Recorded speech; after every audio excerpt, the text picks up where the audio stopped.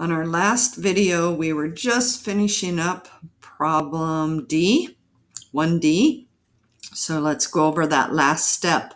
So we turned this into negative 24, brought this down, brought this down, brought that down, brought this down. These radicals can't be simplified. None of them have pairs, but we do have some like terms here.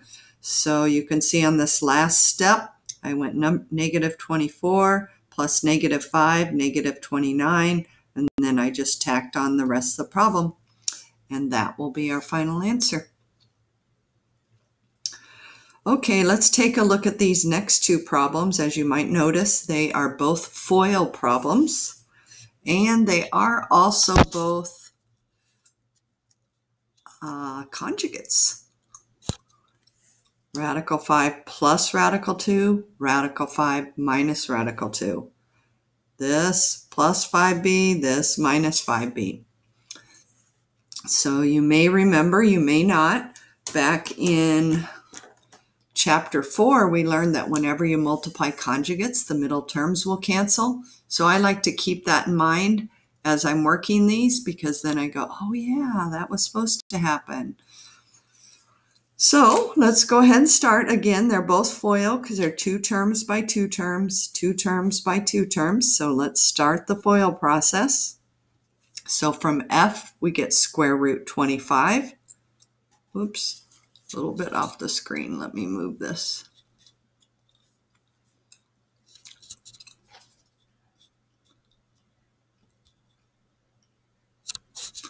Not moving very good. There we Oh, there we go. So square root 25. From outer, we get negative square root 10. From inner, we get positive square root 10. See how those are going to cancel? Remember what we said? That if they're conjugates, the middle term should cancel if you do it right. So that kind of like checks your work. And then from L, we get negative square root 4. And like I said, when you multiply with radicals, rarely are you done on the first step. There's almost always going to be radicals to simplify. So we have a couple things to do here. Negative radical 10, positive radical 10 are 0. And that's what was supposed to happen because they're conjugates. And then this simplifies and this simplifies. So look at, we had all four things breaking down. So square root of 25 is 2 fives, so that comes out as 5 minus square root of 4 is 2, so we simply get the answer 3.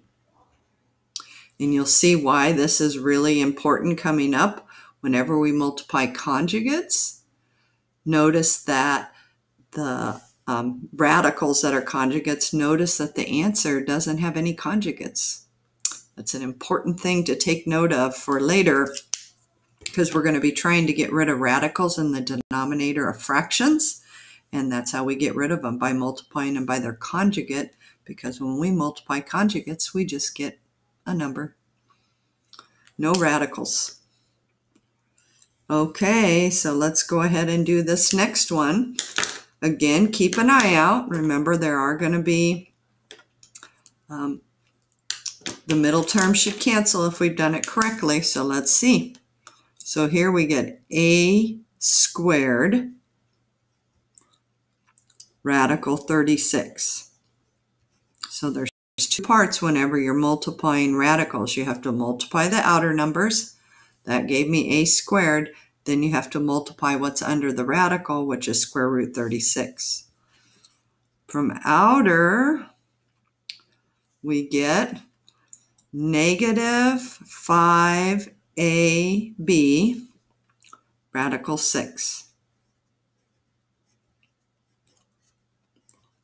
So everybody good with that? Negative 5ab, and then the radical 6 gets tacked on. From inner, we get positive 5ab radical 6, which, which we knew would happen, right? Because they're conjugates. Doesn't happen with any other ones, just with conjugates. And then from L, we get negative 25b squared.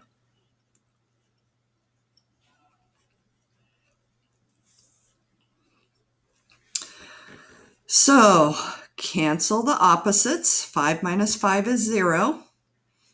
That can't be simplified because there's no radical, but this can be simplified. So what's that going to turn into? Square root of 36 is 6 a squared minus 25 b squared. And remember how I said, once you multiply conjugates, there should not be any radicals in your answer. Radicals are gone. Okay, let's go ahead and more on the next page.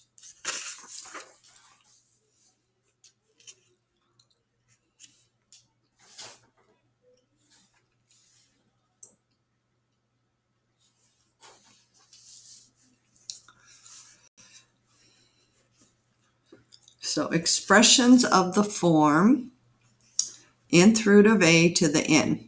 So do you all know that these undo each other? This is to the nth power. This is the nth root. So they undo each other and we just get whatever's underneath the radical. So these are opposites. Think of square root and square. They're opposites. They undo each other. Cube root and cube. They undo each other. So we just cancel that and it pops out.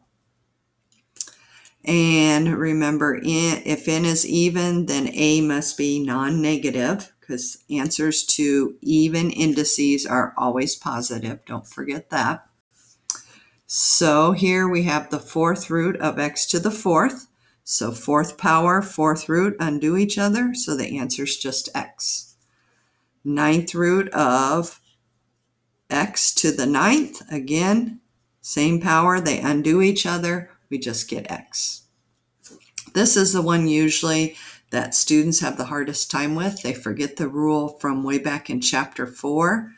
Whenever you have a uh, product inside, this is 2 times the cube root, that exponent has to be distributed to everything. So what I like to do is I like to put a little 1 there to get it ready so I don't forget. So we have to take that cubed to the 1 and then we have to take it to the radical. So when we take it to the 1, we get 2, 1 times 3. Remember when we raise to a power, we multiply. And then this cube and this cube root cancel. So then we get x, y, z. And that's where they got this answer.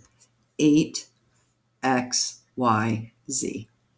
So don't forget if there's a product inside, which means multiplication, that exponent has to be distributed to each factor inside. Doesn't work that way for addition and subtraction, but multiplication and division, it does. Okay, let's practice some of these. Simplify each expression this tells us we don't need to use absolute value symbols because all variables represent positive real numbers. So remember, this is a 2 square root and this is squared, so they undo each other, and my answer is just 5. And this one is just like the one we did above. 4 is being multiplied by that radical, so that 2 has to go in and distribute to 4's exponent and to the radical. So we multiply exponents, so be 4 to the second. And then this 2 cancels with this square root, and we just get times 8a. So that would be 16 times 8a, 40, is that 128? Where's the calculator at when I need it? Here it is. So 16 times 8, I need you guys here to help me. So 16 times 8, yep, 128. Should have went with the gut, right? So that gives me 128a. So just like the third example above, we distributed that exponent. So the 2 goes with the 4, and then the 2 cancels with the radical. So we get 4 to the second times whatever's under the radical. 4 to the second, 16 times 8a, 128a. Okay, this would be a good time for you guys to shut off the video and try these two on your own and then turn it back on and you can compare it with my answers. So fifth power, fifth root, they undo each other. So we just get 150 x squared y. So no tricky stuff there. The radical and the power undo each other. So the answer is just whatever's under the radical. Okay, part D. Hopefully you notice that the index and the power are not the same, so they will not cancel each other. So what we have to do is take the power of 2 in here, in here, and here. So we have three separate things to take that power to. So that's going to leave me with cube root 7 to the 1 times 2, 2. So 7 squared is 49. x squared over y, 1 times 2, y squared. So every single item inside the parentheses was raised to the second power and we just had to leave that cube root there because there's nothing we can do to um, eliminate those because they're not the same number. It has to be a fifth root and a fifth power, a square root and the power of 2. But these are not the same, so the cube root stays and you just square everything. 7 squared, 49, x squared, and then y squared. And notice the y squared is not under the radical, so make sure when you write the answer, it is not under the radical. Okay, this is what I told you in chapter four, just to cross out that you never need to know this. All these are is just memorization that you don't need. You never have to memorize about special products because you can find the answers by foiling. So why remember all these different formulas when all you have to do is FOIL? So learn one thing. If it works for everything, use it. Okay, let's go ahead and turn to page three.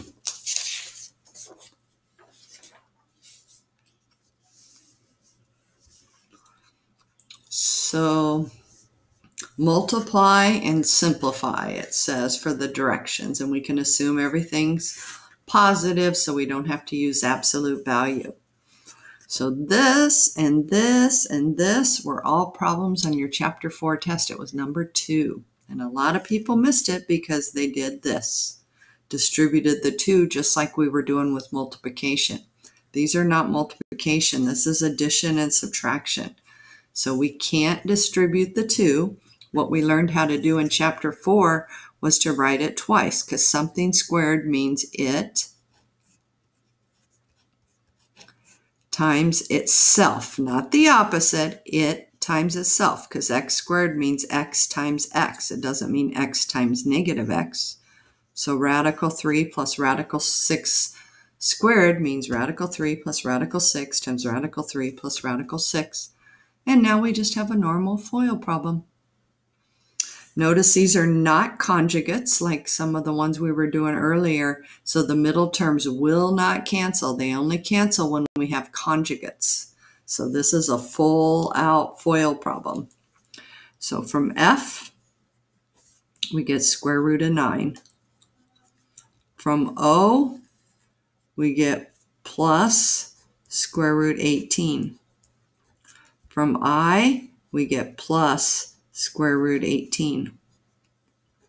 From L, we get plus square root 36. And if you look down the line, you should recognize that every one of those radicals simplifies. That's a perfect square, so it comes out as 3. This is a perfect square, so it comes out as 6. These both have pairs because it's 9 times 2 and